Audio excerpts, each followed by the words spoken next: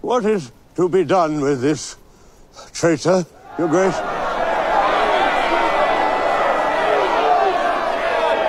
My mother wishes me to let Lord Eddard join the Night's Watch.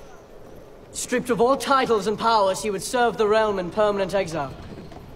And my lady Sansa has begged mercy for her father.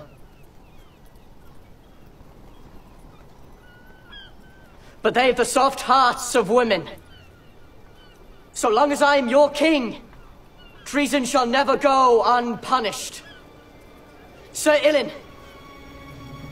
bring me his head.